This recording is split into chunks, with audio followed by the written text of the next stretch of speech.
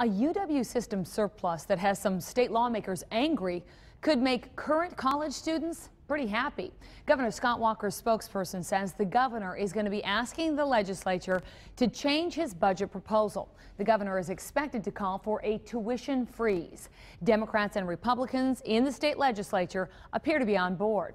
Now, we don't know if Walker will take any action on his proposal to increase funding for the system by $181 million.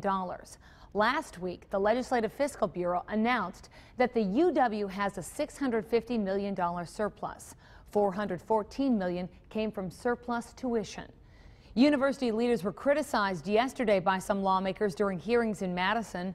UW President Kevin Reilly says the money was being held to protect the system.